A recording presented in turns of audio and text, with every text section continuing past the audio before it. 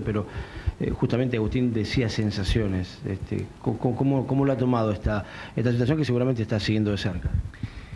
Gracias. Eh, un saludo especial a Fabiana Húngaro y a su compañero de, el programa y gracias por haberse molestado en venir.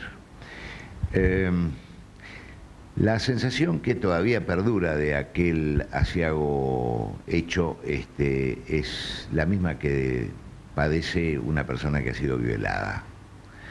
Este, violada en la intimidad, violada en, este, seres queridos, apuntados con un arma en la cabeza. Este, em, pero bueno, gracias a la, a la eficaz actuación de la fiscal Olga Erro, la doctora Olga Erro, este, la preocupación que yo he visto eh, y he palpado de parte del, este, del, jefe de la departamental, el jefe de la distrital, este, eh, comisarios, oficiales, suboficiales,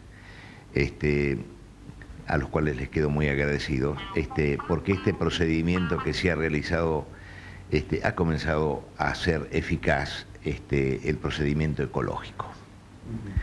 Este, dejémonos de, tanta, este, manifestación patética de abolicionismo jurídico, que sea garantista pero que no sea abolicionista y empecemos de una vez por todas con una política este, que en serio trate el tema de la inseguridad en la República y especialmente en nuestra ciudad, en donde absolutamente nada de lo que ocurre en nuestra ciudad, sea en el servicio penitenciario, sea en, eh, eh, en, el hospital provincial o municipal, o sea, nada es, puede ser ajeno a, lo, eh, a la responsabilidad del, del, intendente como una especie de pater familias de todo lo que ocurre en el territorio de la ciudad de Bahía Blanca. ¿Alcanza, doctor, con esto, digamos, para repararse e, e, ese daño, esa sensación de que, de que algo ya no va a ser igual? ¿Cómo, cómo, entra, cómo juega la detención, el, posible y potencial esclarecimiento total del hecho en, la cabeza, en la psicología, en el futuro de, su trabajo? Mire, eh, uno tiene que seguir adelante, la vida continúa, este, y uno va a tratar eh, de superarlo, especialmente eh, porque estuvo de por medio un, hijo mío de 10 años que tuvo que presenciar todo eso, este, mi secretaria que también las pasó feas porque ella se la había logrado escapar y uno de los que estaba de campana este, la corrió, la agarró de los pelos y la trajo de vuelta adentro y ahí es donde la tiran al piso, la, la, atan, este, etc. yo, la sensación es contradictoria, porque por un lado todavía perdura muy fresco los recuerdos de aquel momento eh, tremendo, eh, y por otro lado eh, uno comienza a vislumbrar de que esta justicia reparadora puede terminar en un debate oral, que es hacia el cual este, apuntará, sin lugar a dudas, este, la realización de este juicio que le corresponde a todos y cada uno de los que ya están presos y de los que tienen que caer, porque hay tres o cuatro que están libres pero que tienen que caer y todos tienen que ir al juicio oral, al debate oral, los quiero ver en el banquillo, ahí nos vamos a ver las caras y este y porque este que agarraron hoy estaba con libertad condicional y el que estaba, el que la policía había eh, agarrado, Eliseo Campos, hace un tiempo atrás, este, bueno, una, una justicia este, abolicionista o como quieran llamarle, lo puso en libertad. Doctor, eh, buenas tardes. ¿Cómo le va? Muy bien. Bueno, ¿y cómo vivió con mucho miedo todo esto, este tiempo, digo, estos tres meses entre que transcurrió el hecho y los detuvieron? ¿Cómo se vive? ¿Cómo se sigue? Bueno, nosotros eh, adoptamos muchas más medidas de recaudo. Este, el miedo no es onzo.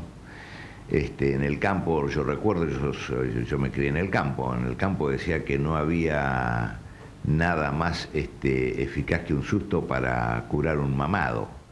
Este, indudablemente que este shock que ha producido este hecho a uno le hace adoptar este, recaudos de mayores medidas de seguridad, pero convengamos también en que por más que uno ponga cámaras y ponga este, guardias de seguridad y que ponga este, alarmas y demás, este, hay gente que tiene en este momento la mente limada por la droga, porque en este momento toda la delincuencia está eh, a la orden del día, tanto en, el acopio y tráfico de droga como en el del consumo, que le va limando la, mente y llega a adoptar eh, actitudes que el, delincuente o la persona que caía en el delito años atrás, no se olvide, yo llevo 42 años de ejercicio profesional, este, había códigos, había ciertos límites que no se,